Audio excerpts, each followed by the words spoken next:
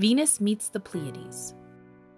Have you noticed that really bright star high in the west after sunset? Well, that's not a star at all. It's Venus, our closest planetary neighbor. And on April 3rd, it's going to meet up with the most renowned star cluster in the night sky the Pleiades. Once every eight years, brilliant Venus appears to pass right through the Pleiades star cluster.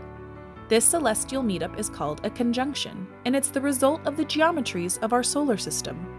Because the planets are constantly in motion around the Sun, from our perspective here on Earth, they all appear to move against the background of the night sky, whose stars are also moving, but are much further away.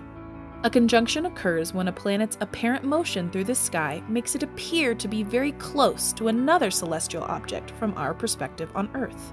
In the upcoming conjunction between Venus and the Pleiades, Venus will appear to become part of the star cluster, but in reality, they will still be 444 light years apart.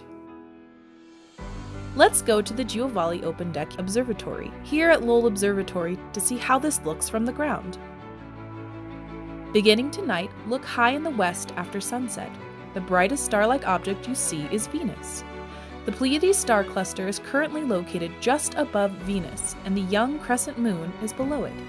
On the night of March 28th, these three will make for a beautiful grouping. Over the next week, you can watch Venus and the Pleiades draw closer, night by night. On the night of April 2nd, Venus meets the Pleiades at the bottom edge of the star cluster. On April 3rd, Venus becomes an honorary Pleiad, as the conjunction makes it appear to become part of the star cluster, from our perspective here on Earth. On April 4th, Venus can be found at the top edge of the Pleiades star cluster, and then it continues on its way. Binoculars or a wide field telescope will beautifully capture the conjunction on the nights of April 2nd, 3rd, and 4th.